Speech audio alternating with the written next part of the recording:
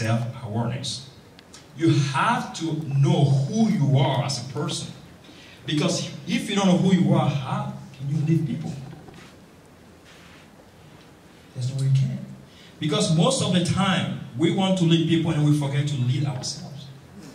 We forget. We want to lead people. Values.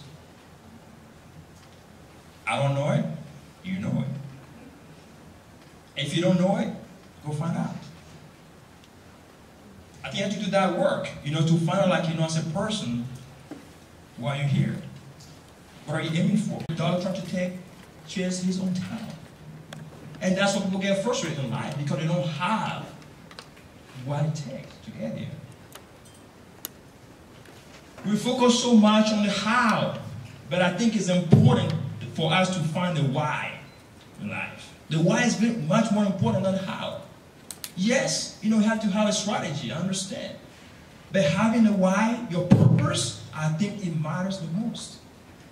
So the goals for you is like, you know, to find your purpose. Why are you here?